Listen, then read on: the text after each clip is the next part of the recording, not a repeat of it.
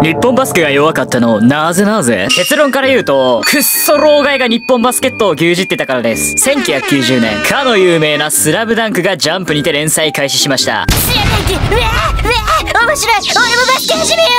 うという感じで社会現象を起こしたレベルには人気となったスラムダンクですが、これに対して日本バスケットボール協会通称 JBA が公式声明を発表。バスケットを変な目で見られる。非常に迷惑だ。うわ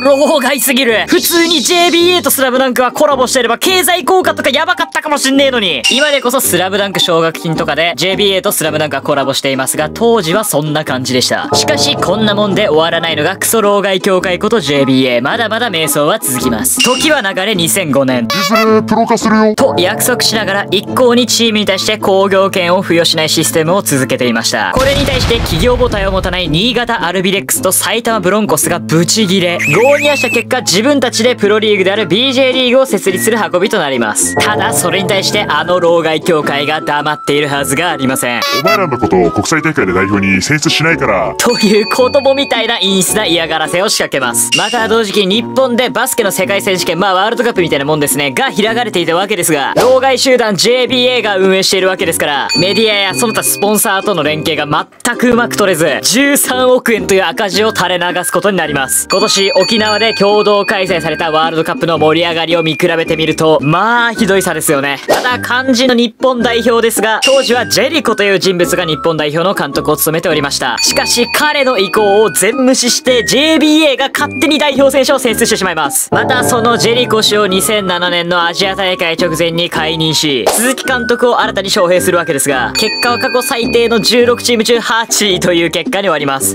もう JBA 何もすんなってこのような一連の幼稚な行動から世間の評価は悪くなるばかり、ついに分裂していた BJ リーグとの統合に歩み寄りますが、実業団チームの気持ちを全く理解できない JBA はここでも意見が対立。日本にバスケットボールリーグが2つあるという状態は解消されませんでした。この状態に世界バスケットボールのお偉いさん、フィーバーもブチギレ。お前ら早めにリーグ統一しないと国際大会に出さねえかんなと釘を刺されますが、プライドの高いおじいちゃんは絶対に自分の意見を曲げず、この2リーグ統一問題は一向に決着を見せませんでした。また JBA 内部でも内紛が起こっており、日本オリンピック協会 JOC からも除名寸前まで行きました。これを見かねた FIBA はついに日本に対して国際大会出場の停止を言い渡しました。またそれは男子だけではなく全く火のない女子にまで飛び火することに、さすがにここまで組織が腐ってたら、いくら日本人の選手が上手くなったとしても、国際 J もまともにできない状態で強くなるわけがありません。選手のレベルとしても2004年の田臥勇太選手以降に、NBA 経験者はサマーリーグ挑戦選手こそ入れど実現してもいませんでした。2004年ということはちょうど2005年の協会と BJ リーグの内紛と同時期ですので、日本バスケの弱体化の先般はもうお察しですよね。そんな絶望の暗闇の中、一人の救世主が現れます。川淵三郎。初代 J リーグチェアマンであり、J リーグの創設に関わった人物です。彼がこの腐れ切った JBA を改革するために、ジャパン2024タスクフォースのチェアマンに就任することになります。彼の手話はまさに剛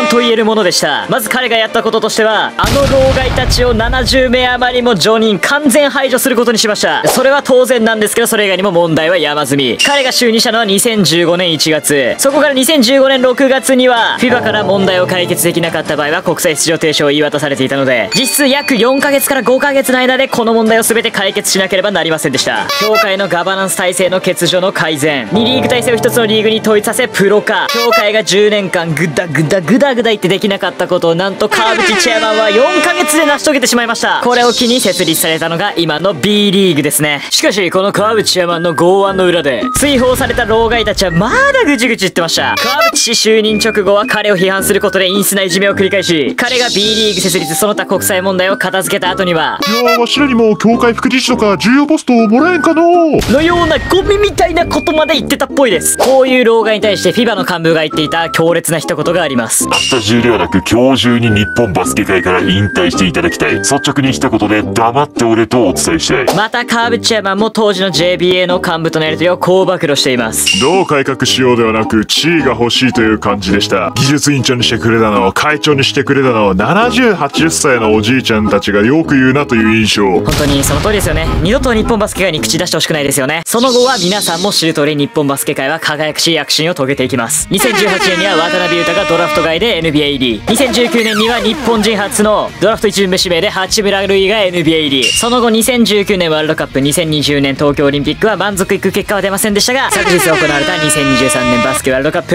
2次ラウンド通過はなりませんでしたが48年ぶり自力での五輪出場権を獲得しました。河村選手富永選手といった若くして世界でも通用する選手の登場。ホーキンソンといった幾何学の選手が台頭することで代表のレベル B リーグのレベルも格段に上がってきております。そしてその B リーグも2リーグに分裂してしていた頃とは打って変わって一定以上の経済効果も上がってきております。今回のワールドカップ日本代表の結果をもってもっともっと盛り上がっていくことでしょう。ぜひ皆さん近年の日本バスケ界の躍進の陰には先ほどお話しした老害たちの屍の上に成り立ってることを今回の動画で知っていただけたのではないでしょうか。ぜひ皆さんこの負の遺産辛い時間を胸に抱いた上でこれからの日本バスケ界を私と一緒にぜひ盛り上げていきましょう。Mmm.